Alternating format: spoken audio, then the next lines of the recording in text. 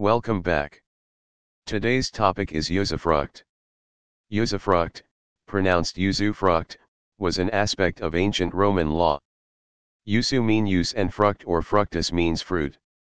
A usufruct incorporates the two property rights of usus as well as fructus. Usus refers to the right to utilize a property directly without damaging or modifying it. And fructus refers to the right to enjoy the fruits of a property being utilized, in short, usufruct is the legal right to use someone else's property temporarily and to keep any profit made from it. Usufruct is a will or legal contract and the third person who is using the property is called usufructuary. Example, usufructuary holding a property can lease or rent it to earn money or if the property is an agricultural land and sell the crops the land creates.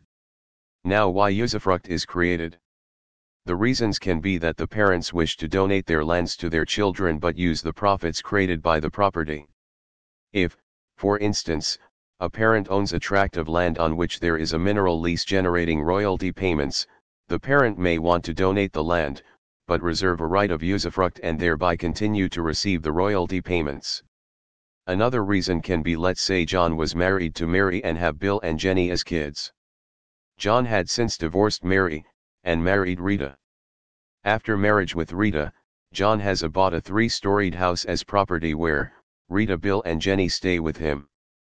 In this scenario let us assume that John wants Rita to enjoy the property rentals after his death but, wants to give the property to Bill and Jenny, can write a lifetime usufruct making Rita the usufructuary. Rita can enjoy the property rentals till she survives and upon death the property goes to Bill and Jenny as per the percentages in the will. Usufruct can be given for a limited period or for lifetime. A usufructuary will not have full legal ownership of the property. Also, usufructuary is entitled to only use the property, it cannot be damaged, destroyed, or disposed of.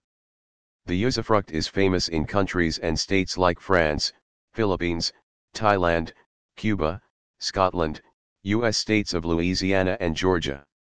In France, it is called usufruits.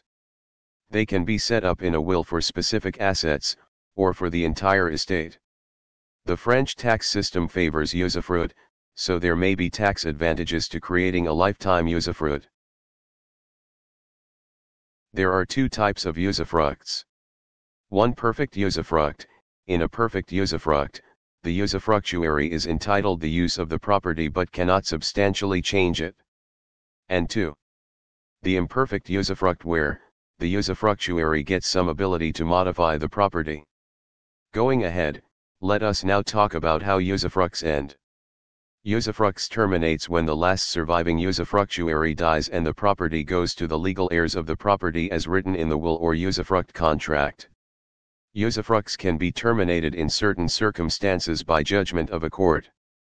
The creator of the usufruct can set a term for the usufruct or the creator may establish that the usufruct is subject to some condition which coming into effect results in termination of the usufruct.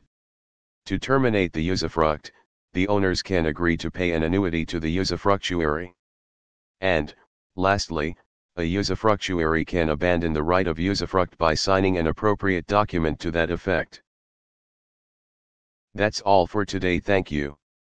Hope you all now have a fair idea about usufruct and you may now apply this knowledge to your day-to-day -day work. Have a nice day ahead. Stay tuned.